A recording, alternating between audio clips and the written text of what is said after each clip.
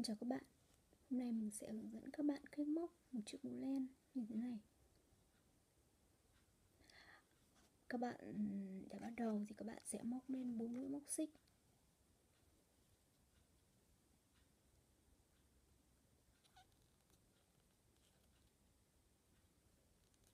Một mũi, hai mũi, ba mũi, bốn mũi. Sau đó thì mình sẽ nối vào chân của mũi móc đầu tiên và ở vòng 1 này thì mình sẽ móc 12 mũi móc kép. Các bạn cứ móc lần lượt 12 mũi móc kép xung quanh vòng tròn.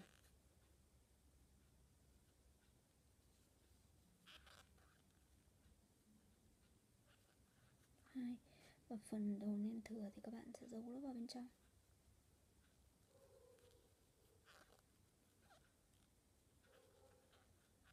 Ba mũi.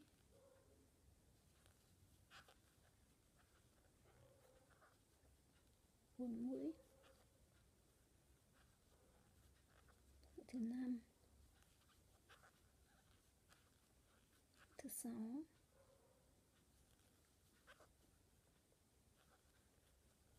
Thứ bảy. Thứ tám.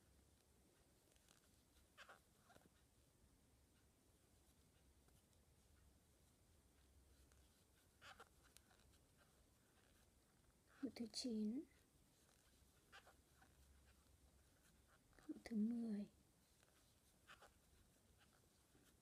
mũi thứ 11 và mũi thứ 12 sau đó thì mình sẽ nối vào chân của mũi móc đầu tiên này. Vậy là mình đã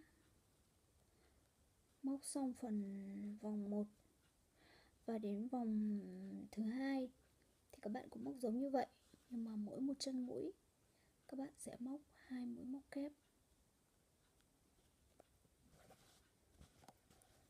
Đây chính là chính là vòng đầu tiên với 12 mũi móc kép. Và đến vòng thứ hai thì các bạn sẽ tăng mỗi một chân mũi là hai mũi móc kép. Vậy là ở vòng thứ hai này thì mình sẽ được 24 mũi móc kép. Đến vòng thứ ba, đến à, đến hàng thứ ba. Thì các bạn sẽ tăng mũi theo quy tắc là 1 2 1 2 có nghĩa là ở chân, một chân mũi các bạn móc một mũi kép. Và đến chân mũi thứ hai thì các bạn sẽ móc hai mũi móc kép chung vào một chân. Và ở vòng thứ hai, vòng thứ ba này mình sẽ tăng mũi và sẽ được 36 mũi móc kép. Đến vòng thứ tư. Vòng thứ tư các bạn sẽ tăng mũi theo quy tắc là 1 1 2 có nghĩa là ở một mũi móc kép, ở một chân mũi các bạn móc một mũi, ở một chân mũi bên cạnh các bạn cũng sẽ móc một mũi kép tiếp. Và ở chân của mũi móc thứ ba, các bạn sẽ móc hai mũi móc kép chung vào một chân thì ở vòng thứ tư này, các bạn sẽ tăng lần được như vậy và sẽ được 48 mũi móc kép. Đến vòng thứ năm, các bạn sẽ tăng với quy tắc là 1 1 1 2 và các bạn sẽ được 60 mũi móc kép.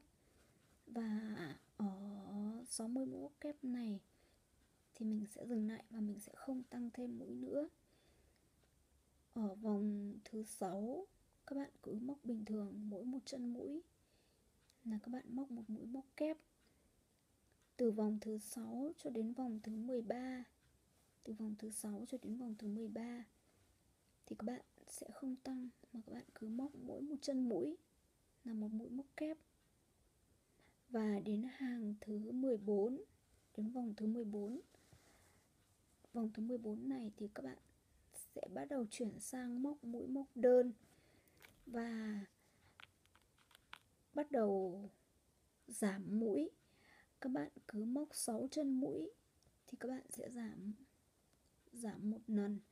Có nghĩa là ở chân mũi thứ bảy, các bạn sẽ móc các bạn sẽ xuyên kim vào hai chân mũi và sau đó sẽ rút len mình làm một ví dụ. Đây ví dụ như mình sẽ móc mình ví dụ như đây mình bắt đầu móc xong vòng thứ 14 và mình sẽ lấy lên một mũi xích ở vòng thứ 14 này.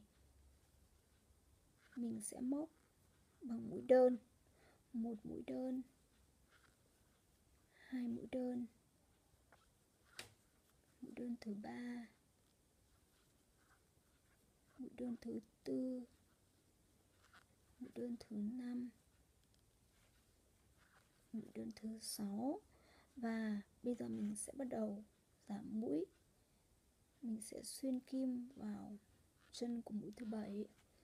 Và mình sẽ xuyên kim tiếp vào chân của mũi thứ 8 sau đó mình sẽ rút len một lần.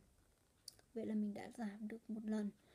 Các bạn cứ móc như vậy các bạn cứ 6 các bạn cứ móc 6 chân mũi thì các bạn sẽ bắt đầu giảm một lần. Và mình sẽ chỉ giảm vào vòng thứ 14 thôi. Ở vòng thứ 14 này mình sẽ giảm 6 lần như vậy và mình sẽ còn 50 chân mũi. Đến vòng thứ 15 vòng thứ 16 và vòng thứ 17 các bạn cứ móc giống như vậy. Mỗi một chân mũi các bạn móc một mũi móc đơn và như vậy là mình đã hoàn thành một chiếc mũ. Cách móc rất là đơn giản. Mình chỉ sử dụng ờ, mũi kép và mũi đơn. Các bạn có thể gài hoa. Tùy ý các bạn.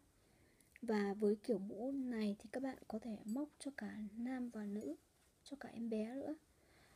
Với mũ này thì mình móc cho bé gái 14 tuổi còn nếu như các bạn à, muốn móc cho người lớn thì các bạn sẽ tăng giảm, các bạn sẽ tùy theo à, độ lớn mà các bạn sẽ tăng giảm. Có thể các bạn sẽ móc, các bạn sẽ tăng thêm mũi ở vòng thứ sáu. Và nếu như các bạn móc cho bé thì các bạn sẽ có thể dừng lại ở hàng vòng thứ ba và vòng thứ tư. Các bạn sẽ không tăng mũi nữa. Chúc các bạn thành công.